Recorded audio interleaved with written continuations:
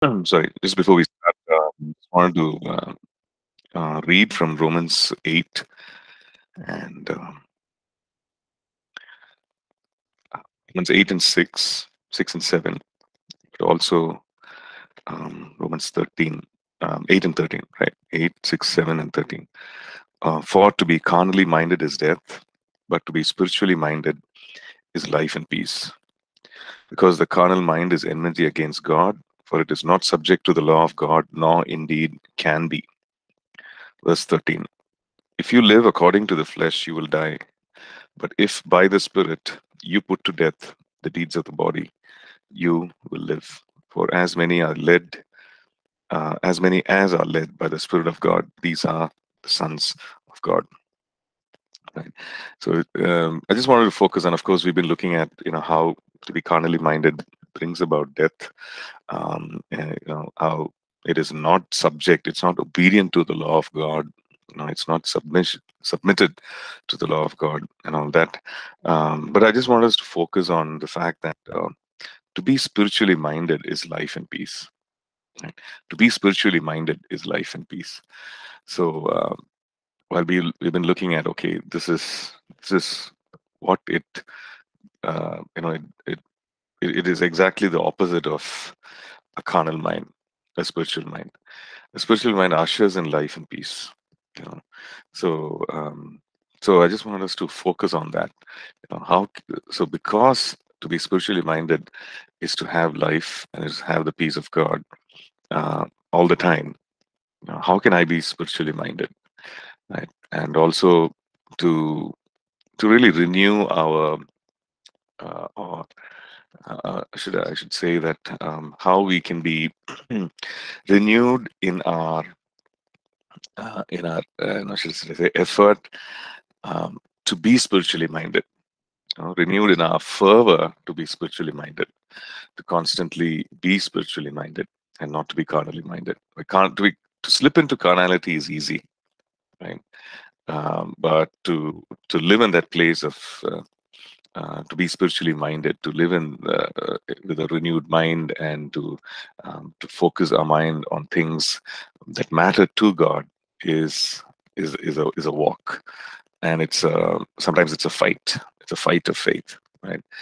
Um, verse thirteen: If by the Spirit, if you live according to the Spirit, uh, and then you put to death the deeds of the body. So I just want to place before us that by the Spirit we can and we will put to death the deeds of the body right? To be spiritually minded is life and life and peace. Just focus on that. And if by the spirit you put to death we will be able to put to death. We can and we will put to death the deeds of the body. It says you will live. And that's the invitation of god you know, to live to be spiritually minded to have life and peace. That's the invitation of god to uh, of our lord to um, to be spiritually minded and by the Spirit, putting to death the deeds of the body, um, and uh, and to live. Right. So let's pray. Um, pray this possibility. Uh, many times we dwell on the impossibilities or dwell on the negatives. Right? Um, just want us to dwell on this that it is a is a possibility that these works uh, these verses talk about and it's victory that these verses talk about for us to uh, as believers to walk in and experience the fullness of life that is in Christ. Amen. Yeah, let's pray. Father, we thank you, Lord. We thank you, Lord, to be spiritually minded is life and peace. Lord, we thank you for the possibility and for the reality, Lord, of uh, putting to death the deeds of the body and uh, to live, God, to have the life of Christ in us, thriving and flourishing, God. And to this you appointed us, to this you have invited and called us, God. Father, we thank you. Lord, we commit each one of us. Lord, we pray that we will walk in the reality of it, that we will walk in the experience of it, God, and not just, uh, Lord, talk about it, but walk in the experience of it, oh Father God. Yes, Master, we, I just pray for a release, oh God, of your favor. I just pray for a release, oh God, of Holy Spirit empowering, even right now, Lord, that we would walk in the reality of this, even today and in the days ahead, God. We thank you. In Jesus' precious name we pray. Amen. Amen. Amen. okay. So we've been looking at. Uh, I think we're just almost nearing the end of uh, you know some of these uh, um, some of these topics. So as uh, last class we looked at how um, you know putting to uh, how crucify the flesh and um, and how to be rooted in Him. You know, the that is to be established in Him. Um, all our whatever things that actually um, that give us stability must be Christ and not any other structure. Right? We looked at Colossians 2, 6, and 7 talks about how um, rooted and built up in him, rooted in him and built up in him, and and established in the faith. Right? And and that is uh, that is that is a an instruction that we will be rooted, built up, established in the faith. Right? And uh, our, that our roots will go deep it will not be superficial, which means our grip on our identity, our grip on uh, our relationship with Christ, uh, our grip on the scriptures, our grip on everything, you know, just um, just like how the roots of a plant just go deep and then and cause stability to bring into the plant, it cause nutrition to reach the plant, that we would be rooted in Him, right? Okay. Uh, at the same time, there's something that needs to be severed that which means cut away and uh, not be part of our lives. Okay, so that is um, that's the last part of that uh, topic, severing ungodly influences. That uh, these things be cut away from our lives. Okay, uh, almost surgically, and not being part of us. Okay, um, like 1 Corinthians 15 and verse 33 says, "Evil company corrupts good habits." So what is the what is the end result? That there is an influence of evil company that even when we have good habits as part of our lives, uh, that this evil company influences uh, and brings in corruption, brings in decay, right? So, so the, uh, of course, the natural thing to do, the logical thing to do, is to is to cut away that influence, um, so that it does not influence, so that it does not take over, so that it does not corrupt. Right? So this severing also needs to happen. As much as we are being rooted in Christ, established and built up in Christ, there needs to be a severing away or cutting away or distancing ourselves from things that corrupt. Okay. Um, and definitely, you know, uh, when we when we look at influences, um, we are most influenced by other human beings. We are both influenced by uh, like people and uh, their what they bring in to our lives and so on and the most influence in the sense you know people have access into our lives so we need to be discerning and see you know if is what they're bringing in is what they're offering um, and uh, what i'm really you know fellowshipping with surrounding myself with day in and day out is that bringing in corruption? Is that bringing in decay? Or is that really you know leading me to life? Okay. Uh, i'm sure that as you know as teenagers growing up uh, you know there was a lot of peer pressure like pressure to conform pressure to uh, be part of a group pressure to be appreciated right uh, and so on. And so we didn't we didn't really bother like even other, even if others told us hey that, that person is a wrong influence you know that person is is not really uh, okay but we didn't really bother. We we wanted you know, we, we just felt deep inside that, hey, I know my limits, but at the same time, you know, I want to be part of this group, part of this gang, and uh, and we didn't realize that uh, you know that had an influence on us, that had an influence on our speech. I, I very clearly, you know, vividly remember. Uh, I think this was in class 11 or class 12, and um, you know, just out of 10 standard and uh, you know experiencing a little bit of freedom and and all that and um, and uh, I remember the company of people that uh, who, were, were with me and then I, I noticed my language begin beginning to change right? Uh, my language beginning to change using words um, that were vulgar using words that were unwholesome and uh, and so on. And then uh, you know one day just be, just part of uh, part and parcel of my um, speech and uh, communication conversations. And one day I realized that and then i was having a chat with a friend and i said you know, you know our languages uh, you know is really become worse right? And then and then she said yeah yeah guys are really, you know, uh, vulgar in your in your words and so on. So um, the thing is, it doesn't it doesn't happen overnight. It doesn't happen, you know, um, uh, immediately, but then it happens over a period of time, right? So. Um, well, I'm not saying that uh, you know we should just separate ourselves, but we need to be careful, uh, and we need to you know where we need to uh, really cut away. Uh, we need to cut away. Okay, right. Okay, so um, and, uh, of course, uh, staying consecrated, which is a continuous thing. Okay, let me just share the notes.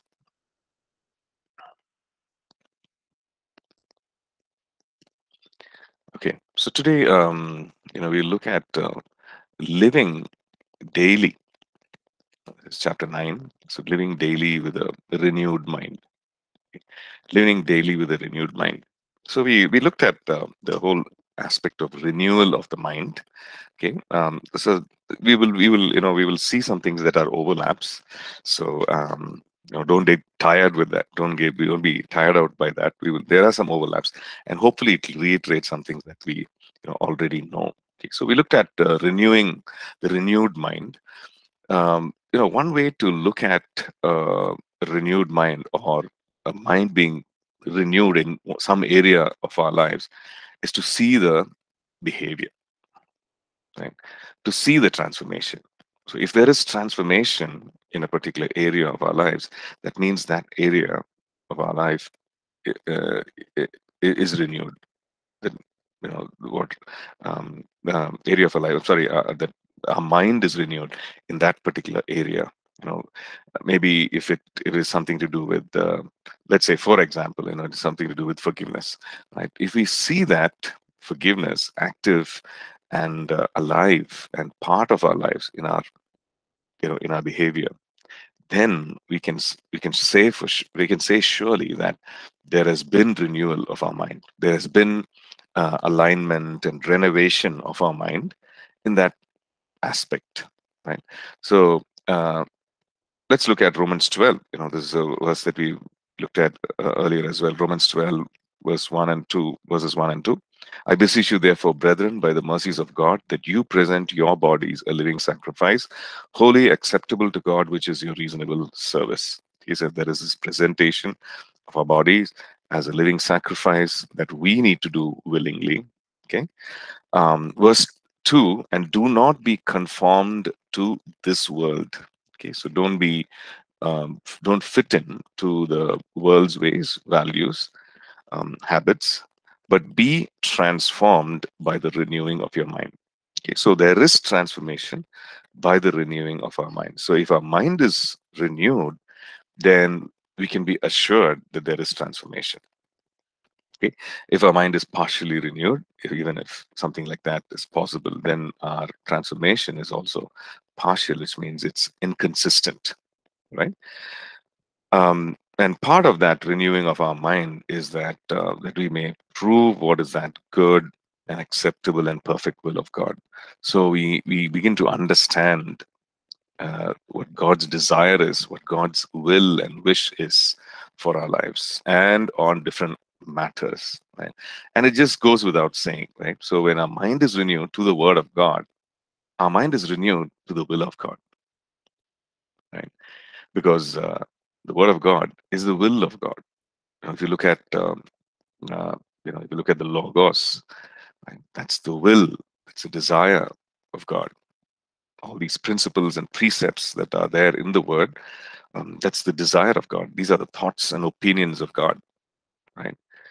So when our mind is renewed to the Word of God, then our mind is being renewed to the will and wishes and desire of God.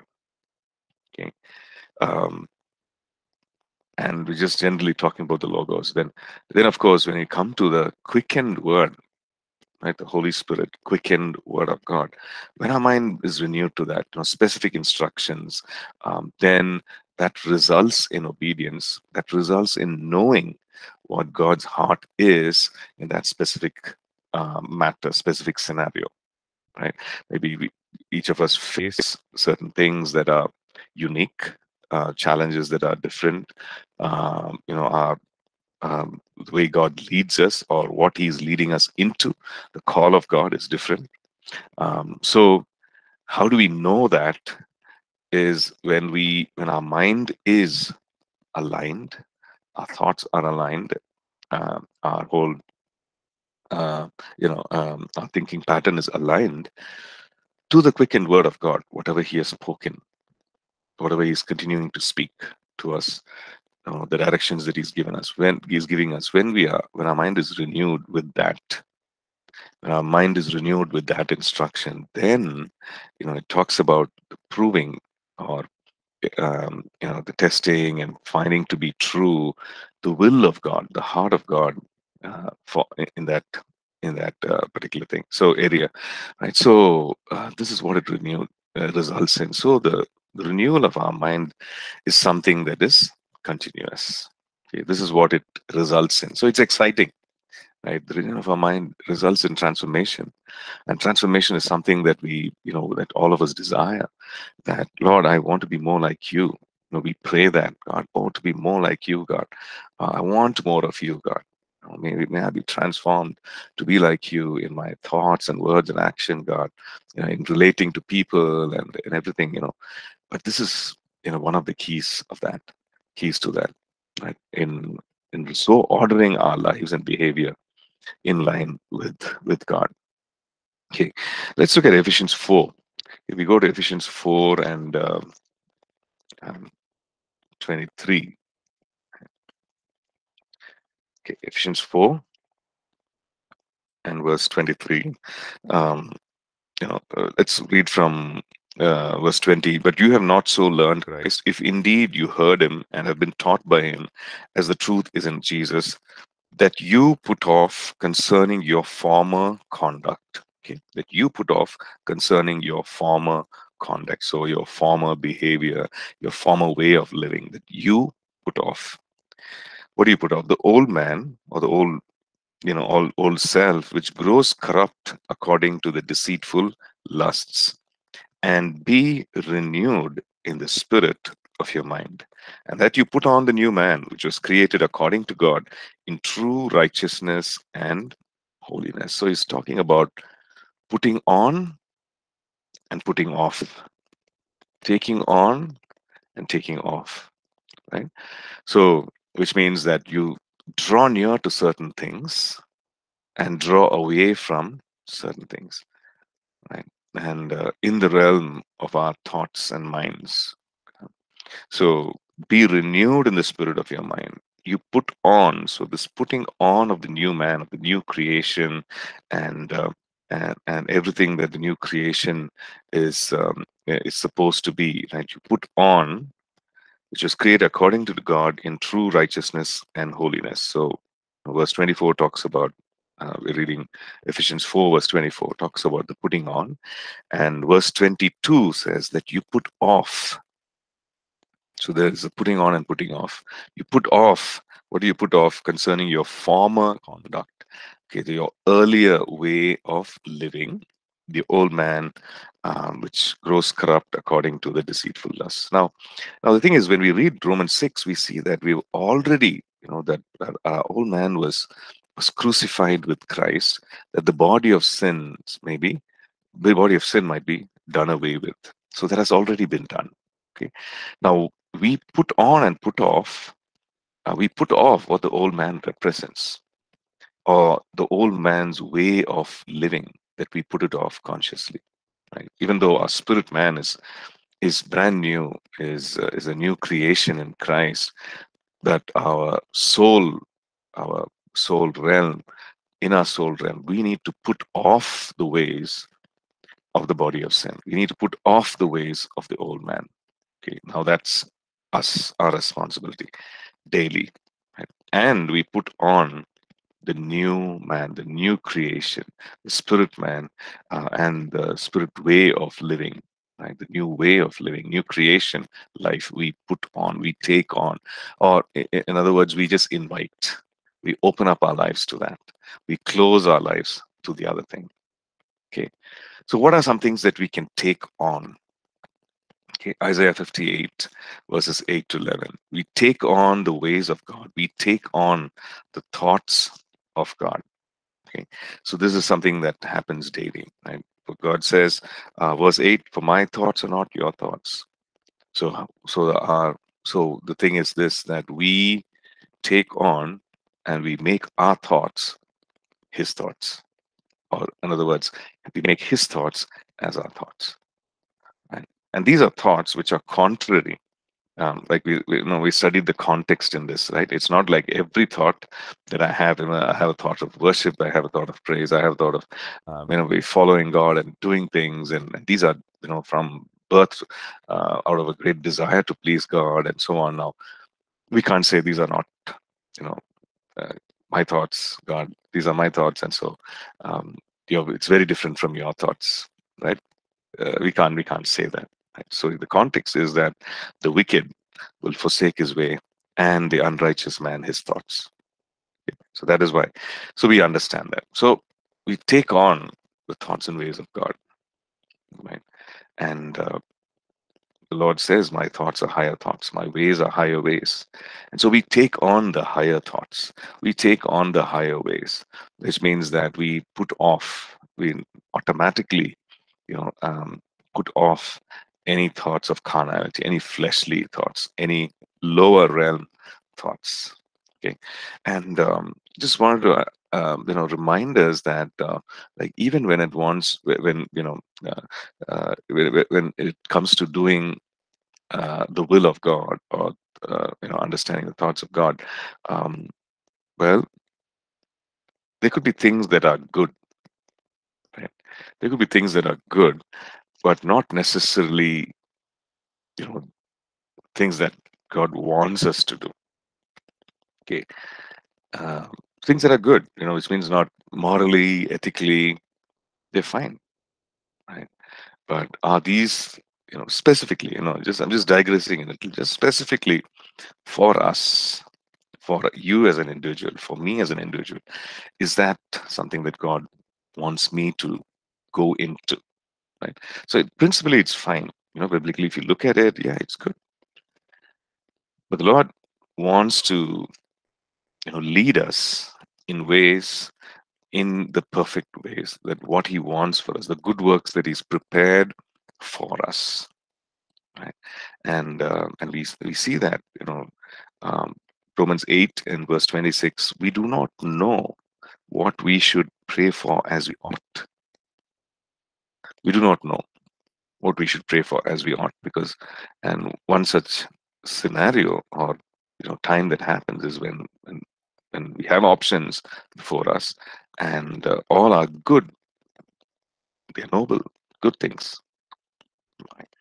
so what do i pray? What action do i take? We do not know what we should pray for as we ought. But the holy spirit himself makes intercession for us with groanings which cannot be uttered okay, so it talks about um, words the holy spirit uh, gives us in intercession with groanings, uh, with words that are not articulate. You know, talking about the praying in the Spirit, where we pray and and talking the verses following that talks about you know um, he who searches the heart knows what the mind of the Spirit is. So praying the perfect will for us. Right? So we take on the thoughts of God in in that manner where it becomes clearer where it becomes, oh, I do not know what I should pray for, but then I'm going to pray in the Spirit because the Spirit of God knows the perfect will and the, and the ways of God. So I'm going to pray. And in that praying, things become clearer. There is a knowing on the inside in my spirit. There's a revelation uh, in my spirit about the ways of God, about the ways of God for me, right? And even in the midst of these options that are good, that seem to be good, what is that God wants me to do? Right. So I take on the thoughts and ways of God. The second thing is also taking on the attitude of Christ. Okay. So our attitude, you know, um, is, is a way of um, a, a, a set way of thinking about certain things. Attitude of Christ the attitude of Christ, we see in Philippians 2 that he humbled himself. Right? So he humbled himself. That is an attitude. the attitude of humility. He humbled himself to serve. So that's an attitude of humility. So we take on that. It is also, you know, just doesn't stop with that, but also it means a, a victorious, a victorious attitude and a mindset. Right? When it comes to the work, uh, you know, destroying the works of the enemy, he went about doing good. good. Uh, we, we read in Acts chapter 10 that he went about doing good, destroying the works of the enemy. So we, we take on that attitude, that mindset of a victorious one in the spirit. Right. So take on the attitude. So this all this is uh, with the renewed mind. It's where we take on the ways and thoughts of God, where we take on the attitude of Christ, and also we take on the knowledge of God. Okay, the knowledge of God, uh, the understanding of who God is, the very nature and the heart of God. Uh, Colossians 3 you know, talks about that. Um, Colossians 3 and verse 10. Just read it. Um, okay, Colossians 3.10. Um, do not lie to, uh, sorry, 9 onwards. Do not lie to one another since you have put off the old man with his deeds and have put on the new man who is renewed in knowledge according to the image of him who created him, who's renewed in knowledge according to him in, in accordance um, with Christ, according to the image of him who created him. Right? But first him refers to Christ himself and uh, who created him, you know, referring to uh, ourselves. And so we have put on the new man. Okay. And so uh, we take on the knowledge of God, the revelation of God. And this also, you know, something that we grow in. Okay. Okay, so living daily with a renewed mind. So it's a continuous process, right? And uh, it, it involves receiving revelation, like Colossians 3 and uh, verse 10, that put on the new man who is renewed in the knowledge according to the image of him who created him. So we well, let us happen to us um, uh, when when we when, when we received Christ, but it's also uh, something that is progressive that we grow in the knowledge right? That we grow in the understanding. And this is something that we need to uh, press into daily, right? We grow in the knowledge, we grow in the understanding uh, of God. Uh, and um, when we say knowledge, we're talking about um, revealed things, you know, when what God reveals about Himself, um, and the understanding that we receive, uh, you know, uh, of the heart, the heart of God Okay, um, so we read in uh, Second Peter and chapter three and verse eighteen. But grow in the grace and knowledge of our Lord and Savior Jesus Christ. To Him be glory both now and forever. Okay, grow in the knowledge, grace and knowledge of our Lord and Savior Jesus Christ. So we know that is you know something that is revealed to us, um, not just um, you know facts and figures but something even more right in relationship from a place of relationship from a place of um, holy spirit walking with us and revealing things to our heart. So grow in that. So we receive revelation. We grow in our understanding uh, uh, in the light of that revelation in the knowledge of god. Okay. So so that is also renewing our mind. We are living daily, continuously um, renewing our mind. Okay, so as we grow. Okay. The second thing is the conquest of the mind, what we've studied, where we we recognize the fact that the mind is a battlefield.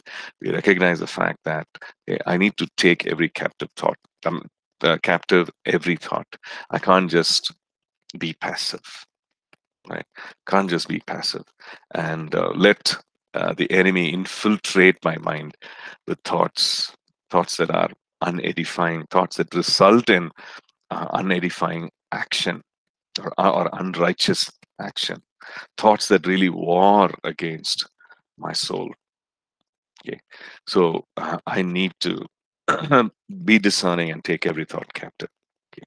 The third thing is, of course, renewing our mind. We're talking about, you know, the conquest of the mind, and so it's about uh, the battle, uh, understanding that it's a battlefield, understanding that um, you know there's a responsibility that I have to fight this battle and take every thought captive, and also the responsibility that I have as a believer to renew my mind and to develop a mindset that is word centric and, and therefore positive. Right. The third thing uh, is to learn to balance. Okay, balance what? You know, we we don't look at each of these uh, to balance uh, certain things. One is reason. Okay, to balance reason, just um, you know, the, the Lord has given us a mind, so He has given us the faculty of thinking, uh, reasoning, coming to certain conclusions. So balance, you know, so that aspect then to live with a renewed mind. To also be led by the Spirit. And sometimes we need to acknowledge that goes against reason, human reason. Right? The Lord asks us to do certain things. We're led by the Spirit. And uh, to go against human reason. You know, classic example, well, the Lord gives an instruction to Peter both those times, you know, to, to cast the net. Even after he has fished uh, Yeah. Okay. Uh, Jeffina's question is, how can we grow in grace? Okay. Uh, we can grow in the knowledge of God, but how can we grow in grace? Yeah. So, so grace also uh, uh, refers to a few things, right? Like grow grace. When we say grace, it's unmerited favor you know god extending his favor to us which we do not deserve right? So that is grace. Grace also refers to uh, what he's giving us freely you know uh, the gifts uh, of the spirit. It's uh, these are gifts of grace.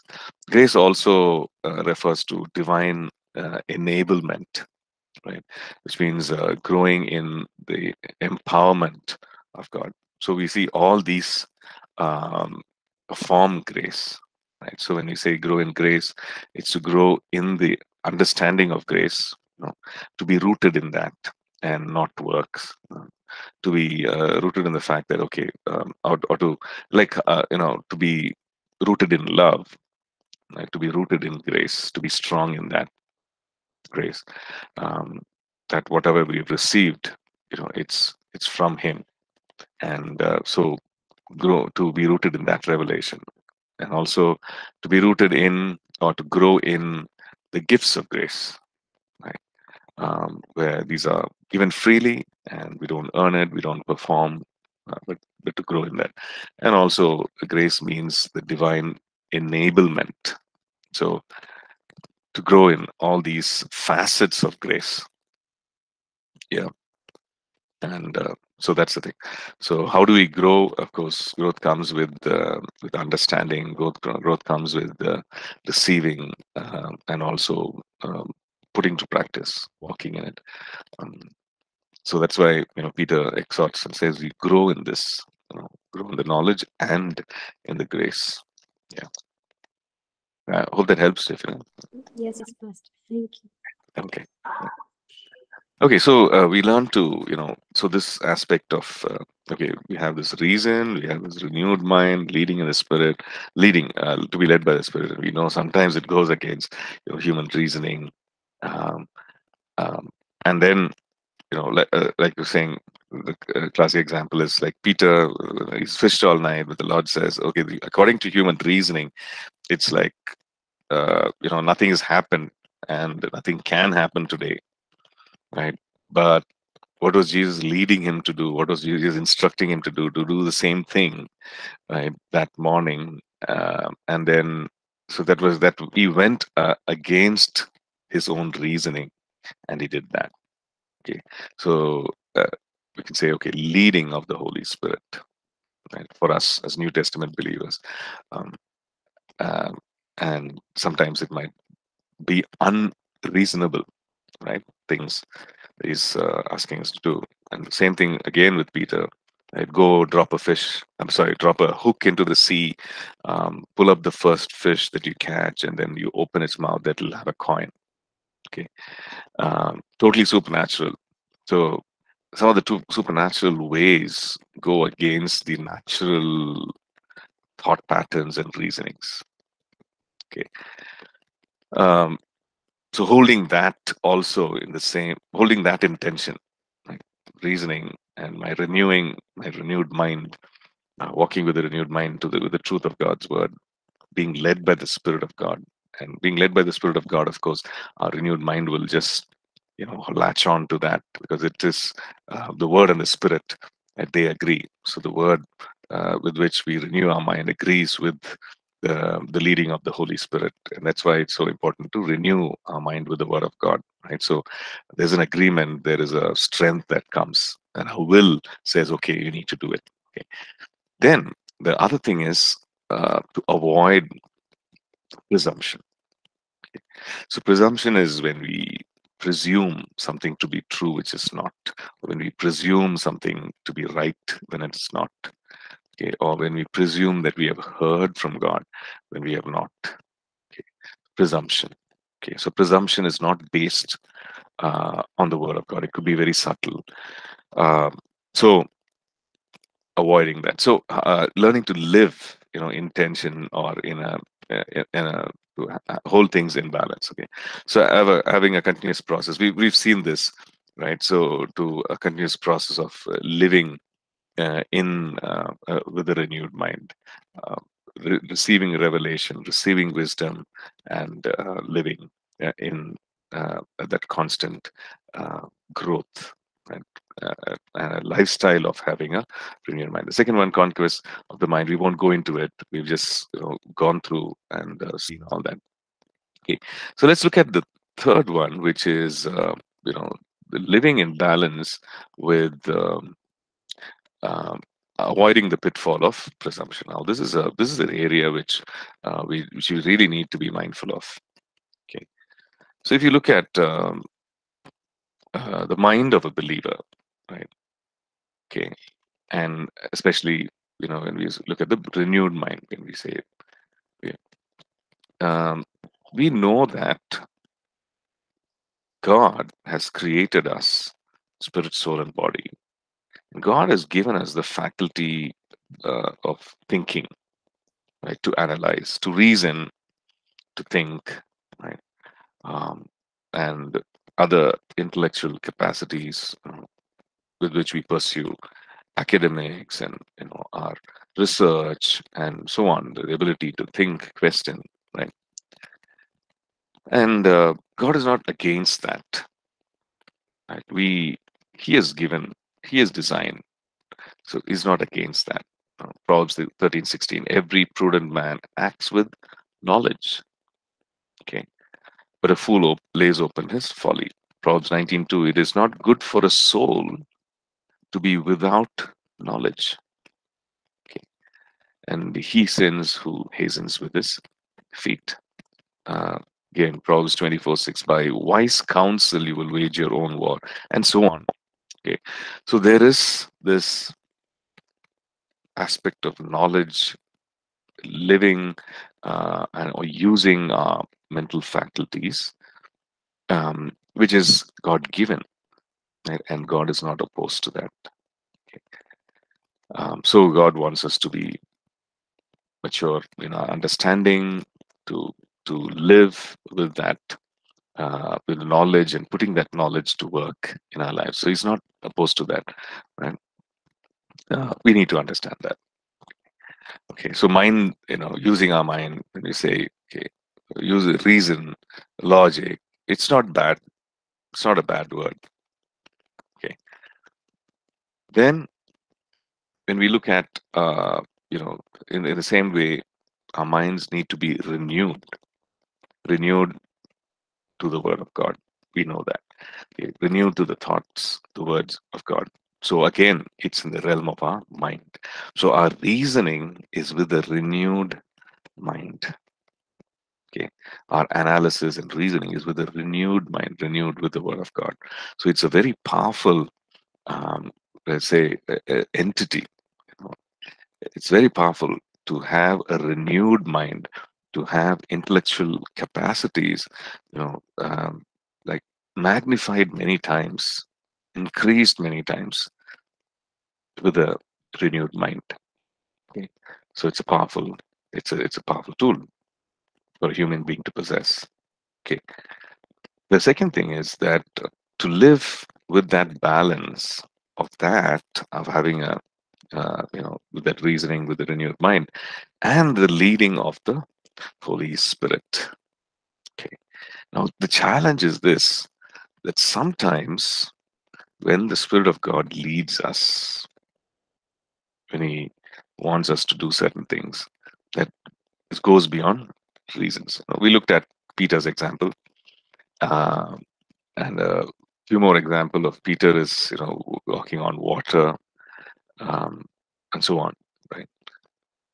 But here uh, we see many other examples, right? All the supernatural works of God and uh, filling water into the into the pots, water pots, and then changing that into wine and so on. And but before that, you know, just filling it.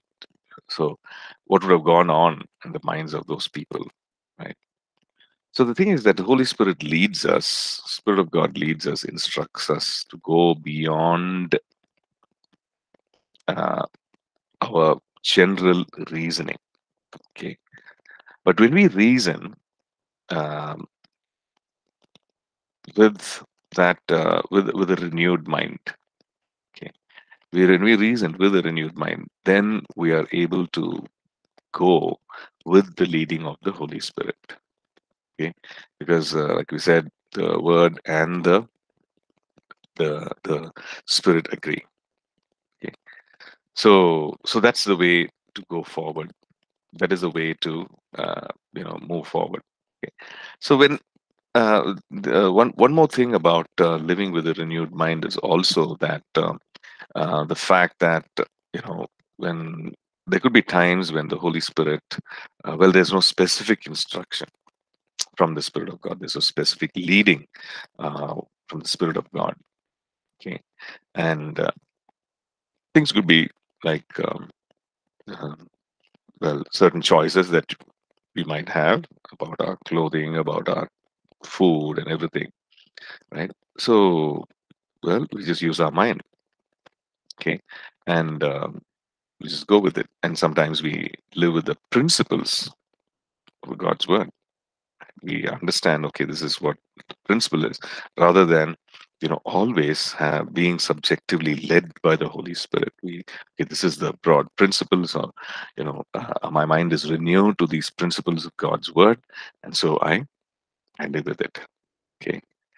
Now when it comes to uh, i just want to uh, further go down to this presumption Okay, now that's a danger area because um, we presume, okay, we come to a conclusion that we have heard from God about certain things, okay, and um, and then we we act on it, okay, when we haven't actually.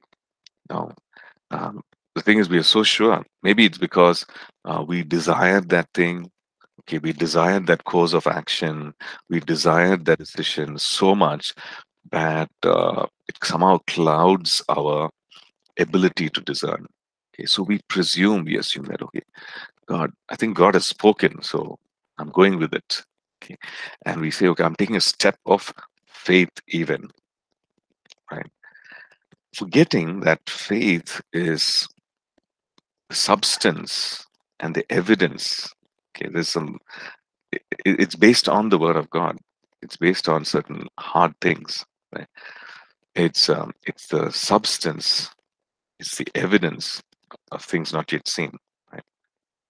So it is based on the word of god so when we assume that god has spoken when we uh, when we and then we follow through with action then that results in a lot of damage okay um so um, for example, some this this happened, you know, like um, like a young couple uh, who got married and then they um, they just, they just felt that okay, God is God is requiring of them to um, to leave everything, you know, the uh, leave everything in the sense resign. They were actually quite senior in their organization, You know, they were young, but they were holding positions of responsibility and uh, you know in the organization where they were working.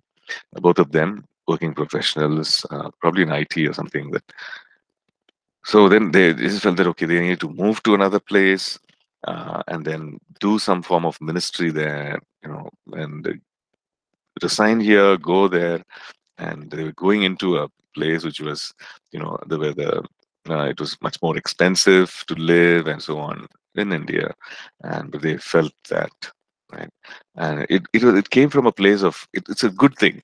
Right? They just wanted to serve God there, maybe start a church even, and um, and but the thing is, they they just went ahead, you know, uh, and uh, it was a very impulsive thing um, like we can't judge and say whether they prayed through etc but then they did that and they realized that you know after maybe six months three months or six months they realized that okay this is not really you know what they they had actually rushed they had assumed they presumed things. And then thankfully mercifully uh, by the grace of god they were able to you know come back and restart. Uh, it took a while. Okay it took a while because uh, you know things were not easy. They had actually quit good good positions and then they had gone. So it took a while to get back um, and um, it took a while. But then by the grace of god it happened.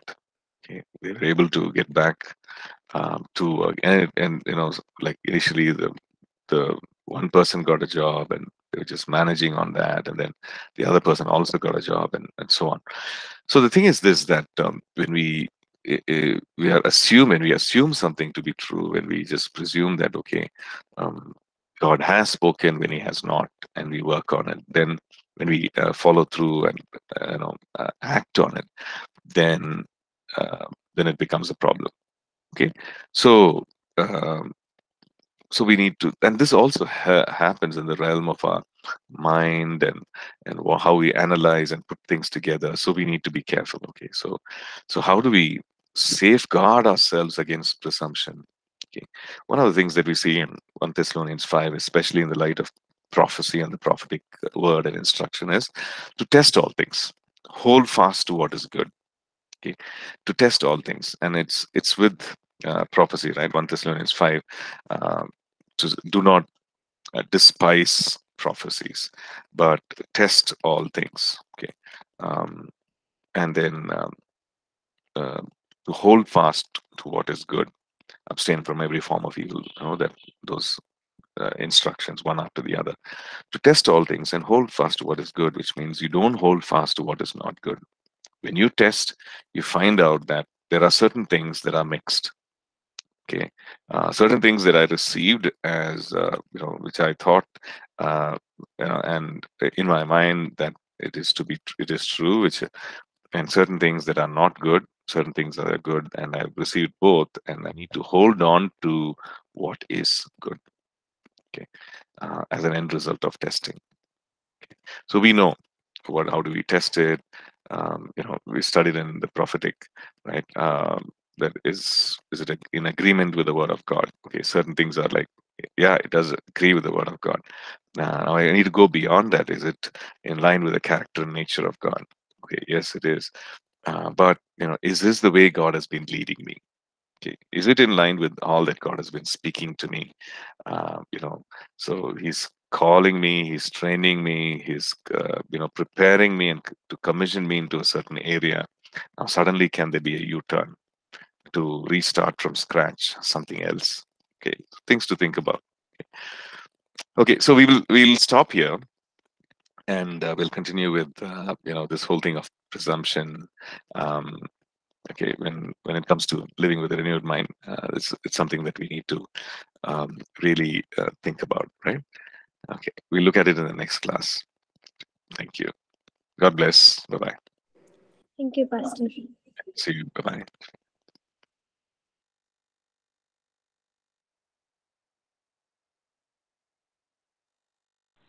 Thank you, Pastor.